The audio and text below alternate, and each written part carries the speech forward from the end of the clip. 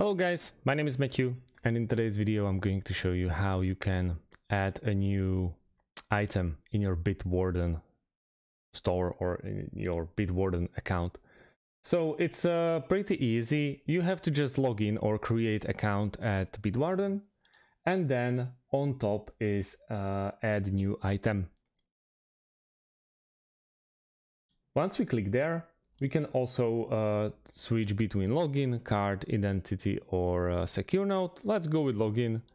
Uh, the name uh, can be like, uh, let's go with Matt.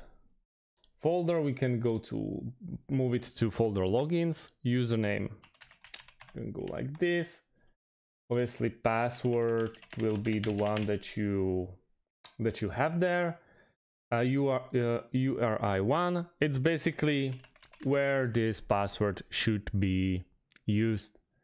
And we have a default match uh, detection, or you can add a new uh, URI.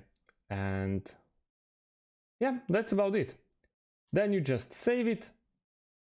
And we have a new folder in uh, in uh, no no uh, new login in a folder logins. So that's about it, guys. Thanks for watching and see you in the next one. Have a great day and goodbye.